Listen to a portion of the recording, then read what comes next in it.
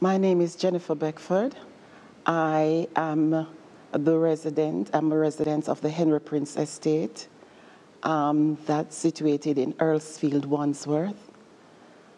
I am also the founder of the Nicholas Stewart Project, which was um, formed out of my pain, out of the tragic incident of my son who passed in 2014, 13th of August to be exact, because of um, knife crime. The person who did it was mentally ill.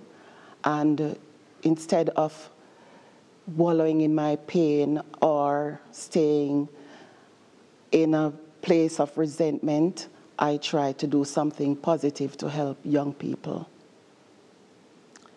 So the Nicholas Stewart project was birthed in 2015. So at this time, we have been, from that time until now, we have been having community events, annual community events in August. So we co cooperate the community members where people can integrate, can have um, interaction between young people, children, and adults.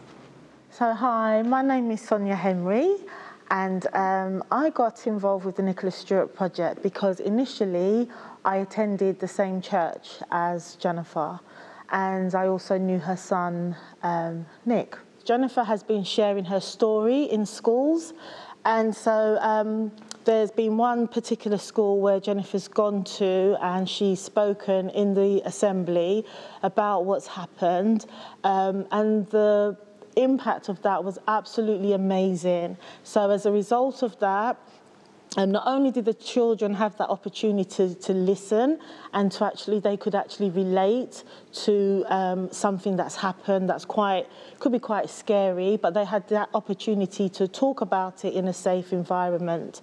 And Jennifer made a statement um, when she um, did that assembly, and it was in regards to the children having a voice. And as a result of that, we had in the school, they set up a talk box.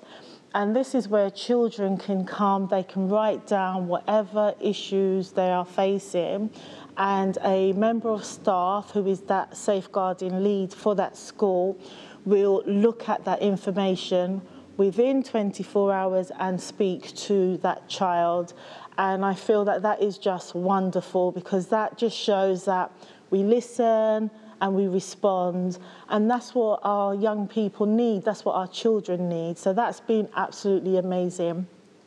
And what we'd like to do is to build on that so that they can be a replica of that in other schools as well, because it is, it's, you know, knife crime, it affects everybody in so many ways.